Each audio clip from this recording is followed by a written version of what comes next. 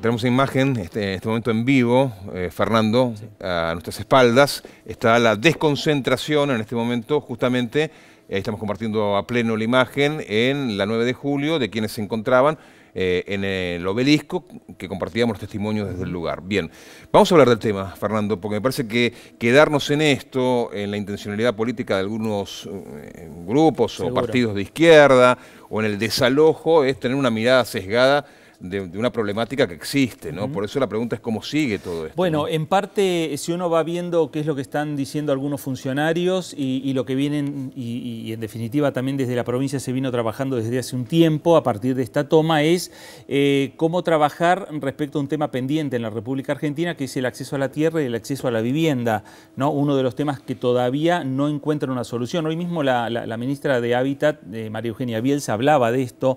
Eh, la ministra de Gobierno de la provincia de Buenos Aires también habló Teresa García respecto eh, a algunos datos. En los años 70, eh, contaba García, el conurbano eran 4 millones de personas. Hoy el conurbano son casi 14 millones de personas. Y el problema está también, sigue el mismo problema, que es el tema, eh, el acceso a la tierra y el, acceso a la vivienda.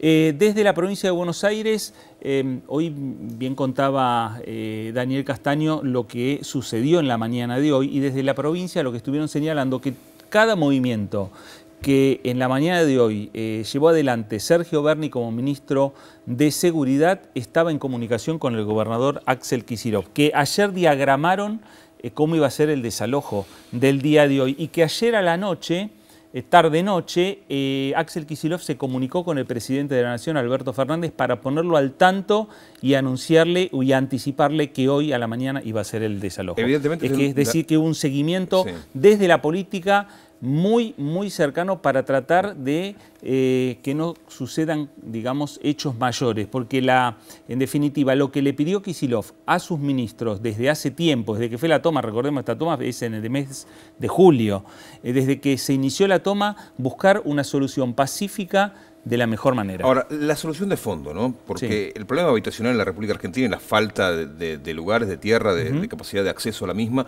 existe desde hace décadas en nuestro país. Y me, da la sensación de que muchas veces se habla de, la, de unificar criterios a nivel político, más allá de la, de la bandería porque es un problema que nos afecta a los argentinos, ¿no? Y, más allá de quién gobierne en este momento, y no se logra, ¿no?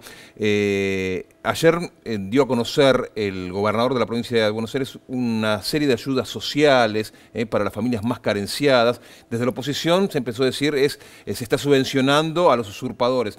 a ver, no ayuda ¿no? no ponerse de acuerdo en ese sentido, más allá de quién gobierne o quién esté en la oposición en este momento. Bueno, claro, eh, despejar un poco mm, el tema político de, las decisiones que se tienen que tomar. Este, el problema habitacional en la República Argentina no es un problema del gobierno de Alberto Fernández, no es un problema del gobierno de Mauricio Macri, no es el problema del gobierno de Cristina Kirchner, será un problema de todos los gobiernos que han pasado en la, en la República Argentina, porque hace años que se viene con déficits habitacionales eh, y de acceso a la tierra desde hace mucho tiempo. Y en, y en los lugares de eh, fuerte concentración de gente, como es el conurbano de la provincia de Buenos Aires, o el conurbano del Gran Rosario, el conurbano de la provincia de Córdoba, sucede también lo mismo. Hay esos problemas. Ahora, violar la propiedad privada está realmente muy mal, pero vivir en un puente también. Obvio, seguro, seguramente. Por eso eh, eh, me parece que la dirigencia política tiene que ponerse a trabajar en esto. Vos decías los subsidios.